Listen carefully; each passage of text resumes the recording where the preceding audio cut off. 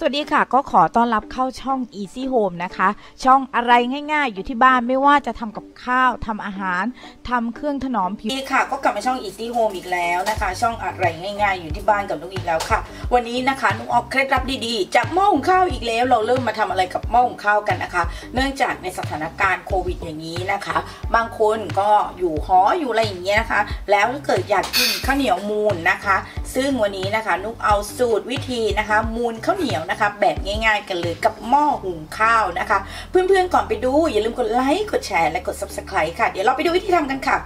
เราจะมามูนข้าวเหนียวกันนะคะ ขั้นตอนแรกไม่ยากนะคะ ให้เราล้างข้าวเหนียวเกี้ยวงูก่อนนะคะ ซึ่งเราจะใช้ข้าวเหนียวเกี้ยวงูหนึ่งถ้วยตวงนะคะ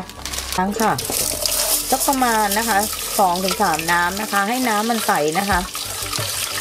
คืออันนี้เราทำนิดเดียวเองนะถ้าเกิดทำเยอะกว่านี้ก็ได้นะคะ แต่ว่าบางทีคนเรามันอยากกินนิดเดียวเนาะแล้วช่วงนี้สถานการณ์โควิดอย่างนี้นะคะที่การทำเราก็ทำแบบง่าย ๆกันนะคะ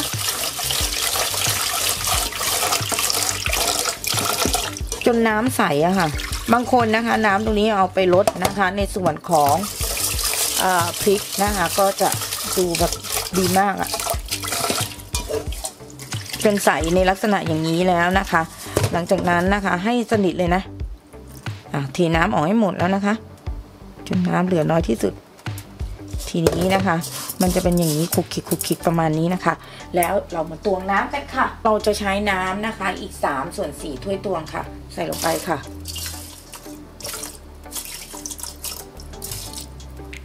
นะคะนี่นะคะประมาณนี้นะคะ เดี๋ยวเราไปหุงกันค่ะ กดหุงปกติเลยค่ะ ค่ะ ทีนี้เราก็มาใส่น้ำตาลนะคะสำหรับมูลกันและกะทิกันค่ะ ค่ะทีนี้นะคะ ก็ใส่ในส่วนของกะทิลงไปค่ะ เป็นหัวกะทิอร่อยดีนะคะ ทีนี้นะคะใช้เกลือค่ะ ทีนี้ใช้ใบเตยนะคะ อันนี้ข้างบ้านประมาณสองใบเนาะใส่ลงไปเลยค่ะ ไปตั้งไฟนะคะ พอมันขึ้นฟองนิดๆก็พอแล้วค่ะ ทีนี้เราตั้งไฟนะคะ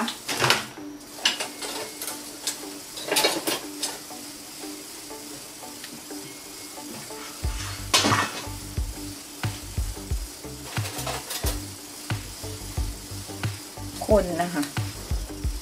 หัวกะทิพอมันเดือดสักนิดนิดก็พอแล้ว แล้วก็น้ำตาลละลายหมดพอนะคะ เดี๋ยวเราก็จะไปใส่นะคะ ในส่วนของนะคะข้าวเหนียวที่เรานึ่งไว้นะในหม้อหุงข้าวนะคะร้อนมันขึ้นฟองอีกนิดเดียว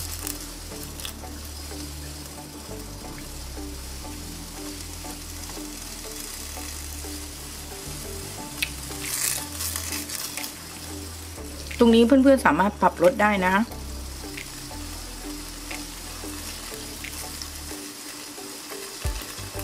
เอาละค่ะ ปิดเลยนะคะ เดี๋ยวเราไปมูนกันต่อ ทีนี้เราจะซุยกันนะคะ นี่คือข้าวเหนียวที่เราหุงไว้เรียบร้อยแล้วเนาะซุยๆไปก่อนนิดนึงนะคะ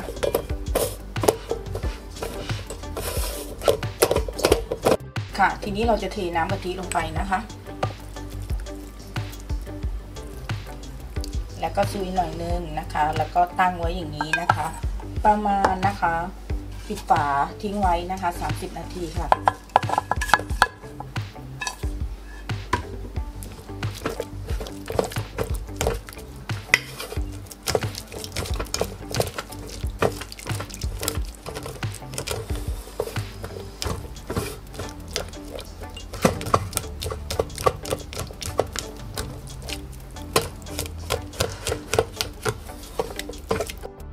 ปิดฝาเลยนะคะ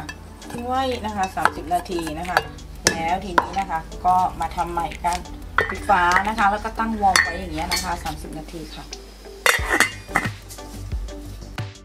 ค่ะ เดี๋ยวเรามาดูกันเนาะสุกแล้วเนาะสองชั่วโมงเอ้ย20นาทีผ่านไปนะคะ เห็นไหม